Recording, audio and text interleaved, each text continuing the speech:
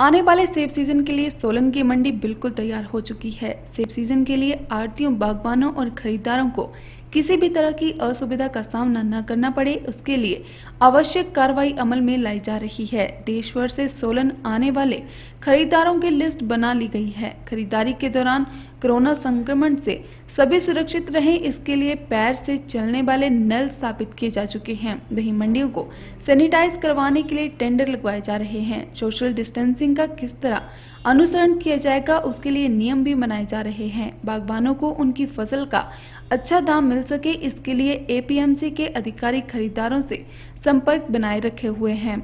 अधिक जानकारी देते हुए एपीएमसी जिला सचिव आर के शर्मा ने बताया कि अभी तक 125 खरीदार जो बाहरी राज्यों से सेब खरीदने के लिए सोलन आते हैं, उनकी सूची तैयार कर ली गई है। ये व्यापारी खुद सोलन सेब मंडी में विभिन्न माध्यमों से संपर्क कर रहे हैं। वहीं जब ये खरीदार यहाँ पहुँचेंगे तो उन्हें लेबर की कमी अनुभव न हो, उसकी सूची भी तैयार कर ली गई है। यूपी, बिहार और जम्मू कश्मीर के मजदूरों से आने वाले 225 मजदूरों ने खुद संपर्क किया है। ये मंडी में सेब सीज़न आरंभ होने से 15 दिन पहले सोलन पहुँच जाएँगे, जिन्हें 15 दिनों तक क्वारंटीन किया जाएगा, ताकि कोरोना संक्रमण का भय कम से कम रहे। जिला सचिव ने सभी बागवानों को आश्वासन दिया है कि जिस तरह से लहसुन और मटर में किसानों को किसी तरह का नुकसान सोलन की मंडी में नहीं होने दिया है, उसी तरह से नियमों के अनुसार सेब सीज़न में भी किसी तरह का नुकसान बागों को नहीं होने दिया जाएगा। इसलिए सभी बागवान अपने दिमाग से सभी तरह के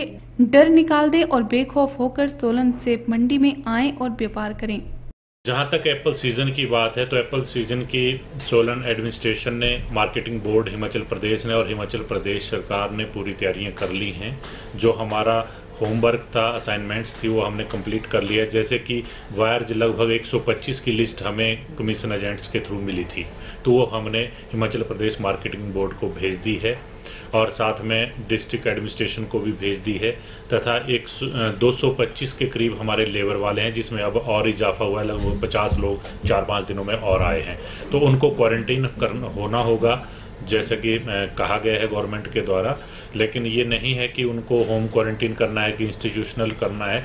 वो डिस्ट्रिक्ट एडमिनिस्ट्रेशन अपने लेवल पे तय करेंगे, जैसे वो लोग जहाँ रहना चाहेंगे, उस तरीके की उनको फैसिलिटी डिस्ट्रिक्ट एडमिनिस्ट्रेशन के माध्यम से होगी।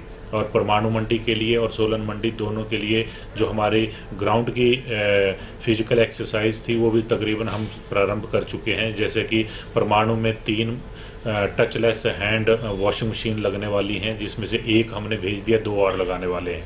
और यहाँ भी मंडी में तीन टचलेस मशीनें रहेंगी।